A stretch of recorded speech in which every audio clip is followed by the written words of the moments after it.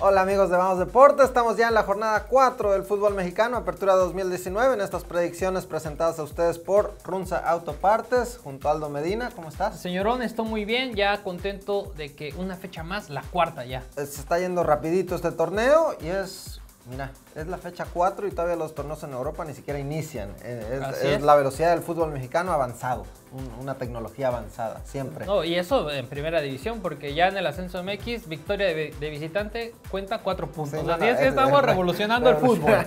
Pero bueno, enfoquémonos en la visita de este viernes de Pumas a Tijuana enfrentando a los Cholos.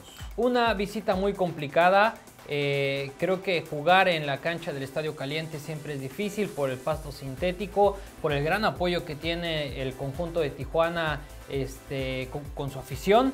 Eh, son partidos muy atractivos, Luis. Estos conjuntos siempre nos regalan en promedio de 3 a 4 goles por partido. Eh, me ha gustado mucho cómo se ha presentado Michel este, con el conjunto de Pumas, dos victorias. Pierde ante Tigres, pero lo pierde jugando muy bien, con bastante jugada ofensiva. Si bien pues, perdió simplemente por la grandeza de Guiñac, pero en verdad creo que se ha estado bien. Pumas dominó el partido, como tú dices, venía de dos, victorias, no habían recibido gol hasta el gol de Guiñac en, el, eh, ya en el minuto 85, 86 de, este partido.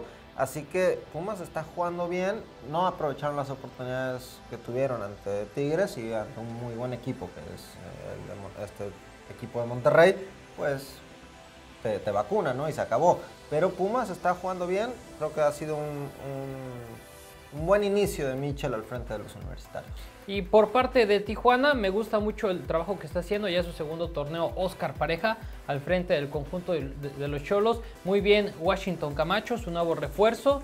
Eh, ya lleva dos goles en lo que va del torneo. Pues contrataron a Camilo Zambeso, un jugador muy importante para la Liga MX. Tiene a Ariel este, Nahuel Pan, tiene también a Miller Bolaños. Tiene bastantes variantes, incluso está en la banca está Ángel Sepúlveda que le fue bastante bien con las Chivas. Y bueno, ahí está el Cubo Torres que medio dormido, pero bueno, ahí está un ídolo. ¿De quién? De, las chivas, de las chivas, de las chivas. del, Houston Dynamo, ah, un ídolo del Houston Dynamo.